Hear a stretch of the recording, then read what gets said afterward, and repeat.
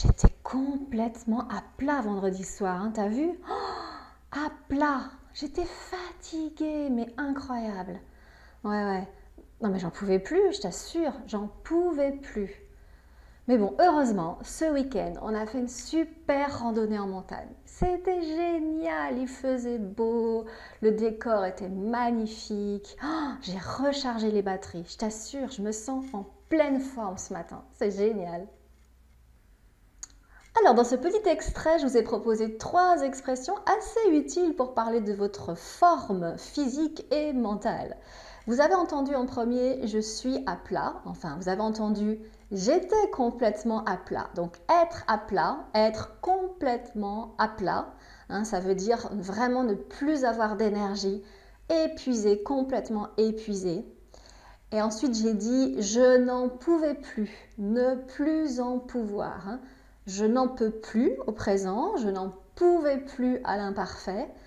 En fait, ça veut dire que je ne peux plus supporter, que je n'ai plus d'énergie, donc je ne peux plus supporter une situation qui est désagréable, ou alors j'ai plus de force en fait.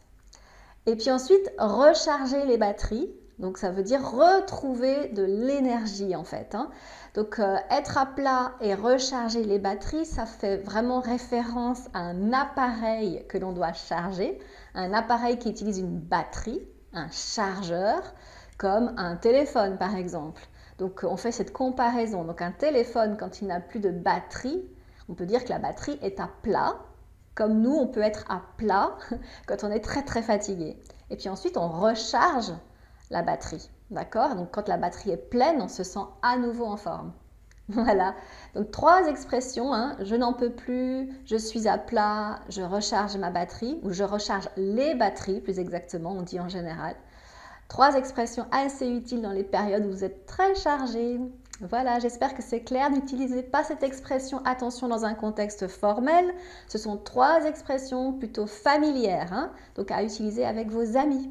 Voilà, à bientôt